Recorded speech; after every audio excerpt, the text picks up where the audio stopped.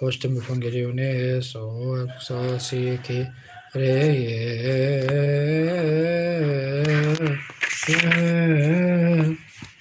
مزمور 68 واحد تسعة إنجيل متى 27 46 50 إنجيل مرقس 15 34 37 إنجيل لوقا 23 45 و 46 إنجيل يوحنا 19 22 و 30 من 30 مزامير معلمنا ما داود النبي والتمس طرقة علينا أمين اللهم حيني فإنما قد بلغت نفسي وتبرأت في حمآة الموت وجعلوا في طعامي مرارة وفي عطشي ساقوني خلا الليل اللهم اطرف علينا وارحمنا واجعلنا مستحقين سماع إنجيلك المقدس واسم مشاهد إنجيل معلمنا مريم البشير والتلميذ طبقة علينا امين فلما كانت الساعة التاسعة صرخ يسوع بصوت عظيم قائلا إيلي إيلي ما شبقتني أي إلهي إلهي لماذا تركتني فكم من الواقفين هناك لما سمعوا قالوا إنه ينادي إلي. وللوقت رقد واحد منهم أخذ سفنجة وملأها خلا وجعلها على قصبة وسقاها. وأما الباقون فقالوا ادعوه لننظر هل يأتي إلي لننجيه فصرخ يسوع على صوت عظيم وأسلام الروح والمجد لله دائما إنجيل معلمنا مالي مرقس البشير التلميذ تبارك علينا آمين. وفي وقت الساعة التاسعة صرخ يسوع بصوت عظيم. قال إلوي إلوي لما شبقتني الذي تفسير إلهي إلهي لماذا تركتني وقال قوم الحاضرين لما سمعوا وانظروا وذا ينادي إلي فأسرع واحد من الأسفنجة خلا وضعها على قصب وسقاها قائلا. اتركوه لنرى هل يأتي إلي ينظره؟ فصرخ يسوع أيضا بصوت عظيم وأسلام والروح المجد لله دائما. أيضا معلمنا يقول بشرية مستبقة علينا أمين. وأظلمت الشمس وانشق حجاب الهيكل من وسطه ونادى يسوع بصوت عظيم قال يا أبتاه في يدك استودع روحي. ولما قال هذا أسلم الروح والمجد لله دائما.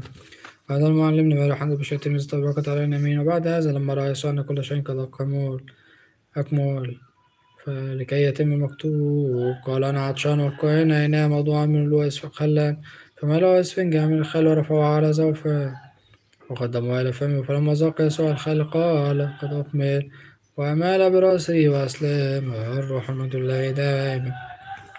هنا برون تتريس إن هوموسيوس إفيوتني بشيرين بابن فنويسو وإن طائفني في تير وإني روميني سيبي كوزموس طرح الساعة التاسعة من يوم الجمعة العظيمة من البصرة المقدسة من جيل إلى جيل سنوك لن تبلى ومن قبل الشمس كان اسمك فهو راق اليوم معلقا على الصليب ضابط الكل المسكونة.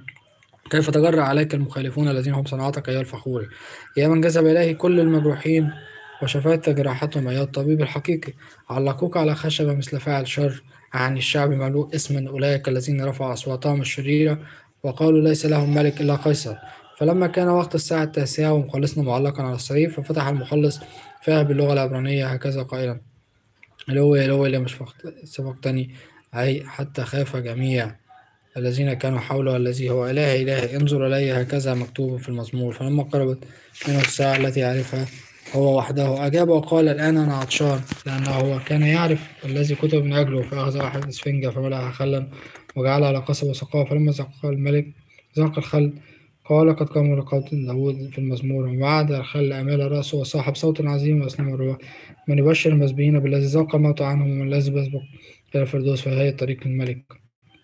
افرح اليوم أيها الأبرار الأنبياء والبطارقة والصديقين والإنسان الأول الذي عتق في الحزن. قد تجدد اليوم بالإنسان الجديد الذي قتل الموت وقت العزة وشوكته المرة كسرها وقطعها. الله الكلمة بكماله ومضى إلى الجحيم بالنفس التي أخذها من طبيعة آدم وجعلها واحدا معه والنفوس التي كانت في السجن أصعدها معه كعظيم رحمته والعدو الأخير الذي هو الشيطان قائده بقود السلاسل. فلما رأى البوابون الأشرار وقوات الكائنة في الظلمة هربوا ولم يطيقوا الثبوت لأنهم عرفوا قوته وكسرت جبروته فكسر الأبواب النحاس وسلطانه والمداريس الحديد سحقها وأما المسبيون إذ رأوا الرب يسوع مخلص نفوسهم صرخوا بصوت قائلا قائلين حسنا جاءت يا المنقذ عبيده واسمه أمسك أولئك بيد آدم فاكتسبوا وأسعده وبنيه معه ودخلهم الفردوس مسكن الفرح والراحة. مسيح مخلصنا جاء وتعالى معنا كيف إله مخلصنا في المواضيع ونرفع اسمه لأننا صنع معنا رحمة كعظيم رحمته وخصوصا صوتي رفيع الشيء بهم كان هنا خلني بهم كان تبسوتي هم ولنتيو نفتن شسيم بفنون جافرونايني من كتبني